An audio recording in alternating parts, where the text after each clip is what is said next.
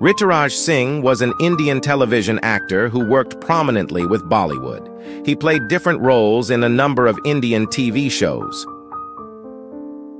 Rituraj Singh, a well-known figure in the television industry, succumbed to a cardiac arrest on Monday night.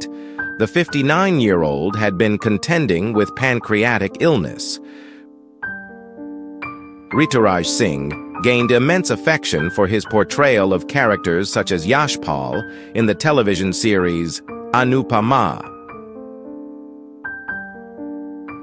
Along with a happy picture of Rituraj, the family wrote, doting father, loving husband, stellar human, and an absolute rock star.